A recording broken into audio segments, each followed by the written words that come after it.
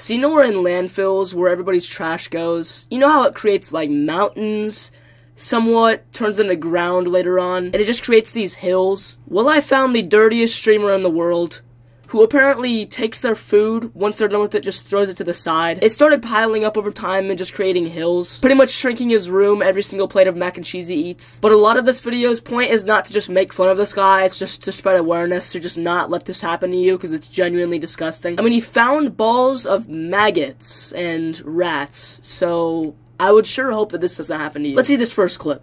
The inside of the garbage bag is wet. ago. I'm just not gonna say any comment on this first clip. Let's just roll the next one. It used to be mac and cheese. Now there's.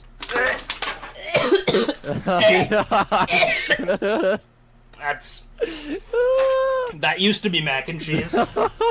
If I pick up something in my room and I smell it and I start gagging, that's when I know I failed. And just look at this guy's floor. You can tell that his feet are sinking into that at least three inches into the ground. I mean, this just purely disgusts me. Like, I'm almost going to puke just looking at this. I don't like this anymore. I don't want to do this anymore. Do I show them the other half of my room? I just room? happened Like, to find it. do I show you them the other in half of my room? I, I don't know. Whenever I like finish eating something, I just kind of go. yeah, I just gotta throw it on the Yeah. other side of the room and see where it goes. If I go to a bookshelf in a library, grab a dictionary, and look up the word lazy, this guy is definitely one of the most recommended pictures. He doesn't have the effort to get up and throw away the trash after he just ate something. He just throws it to the side. Yeah, I have a regular trash can, but that's like Go get it and then just shovel it in. inside. Uh, can you give us a room tour? All right. Oh no, get ready to plug your nose. You ready for this? All right. So that's here's my setup. Right. This is where I play video games. Do you see how many fingers I'm holding up? That's how many monitors this guy has. And I'm guessing that his PC wasn't that cheap. If those monitors don't have maggots growing inside of them, I would be very surprised. And then right there, over here, that's my door. and then that's the trash. And this is all the trash. Cue the sound effect.